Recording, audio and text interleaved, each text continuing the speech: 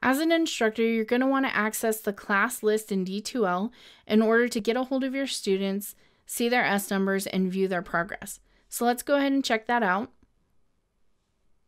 And down here, you will see that there's a list of student names.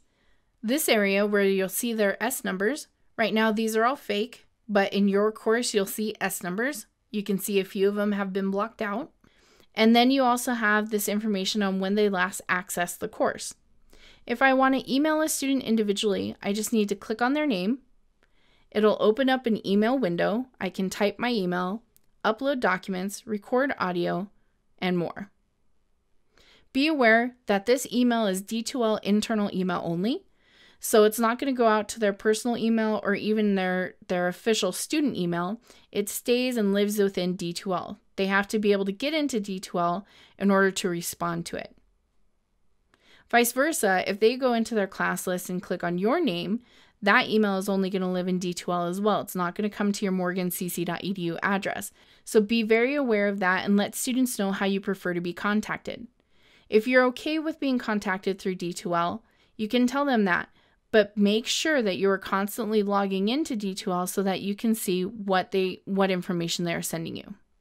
So one thing I did want to warn you about is let's say you wanted to send an email um, to people who haven't yet logged into the course that need to log into it before it starts affecting their grade. I can look over here to la last accessed and I can see all these blank boxes mean that these students have not accessed the course.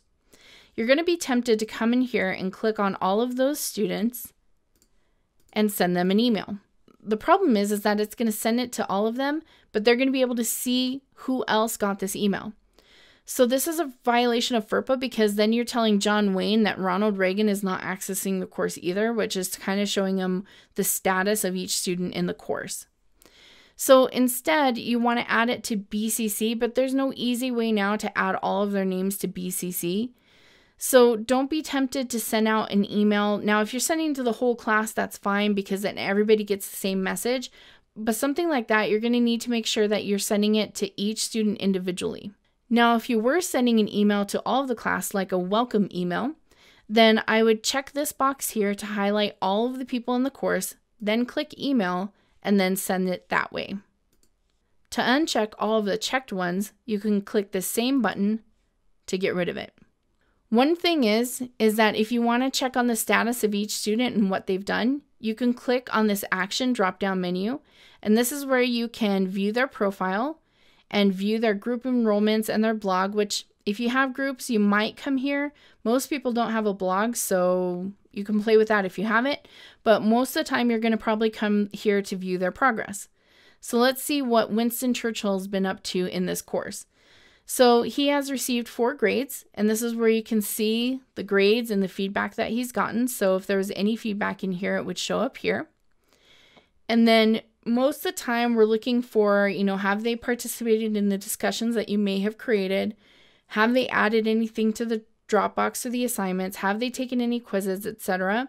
And then this is also showing the course access and the login history. So if a student is having a hard time in class, this is a tool that you can use in your discussion with them to say, I see you only maybe log in once a week, and we recommend that you log in at least once a day. Um, or you can try to keep track for attendance reasons. Um, so there's a lot of different information you can glean from this, uh, and you can jump to each of those sections via this sidebar here. Last but not least, Sometimes you can only see 20 people per page because it defaults to that setting. So I've had that happen before where I've had too many students and I only think there's 20 in there and I'm only checking on those 20 um, in the first like week of class. So just make sure that you come in here and if you have more than 20, which I hope you don't, but if you do, make sure you change it to whatever number will work for you.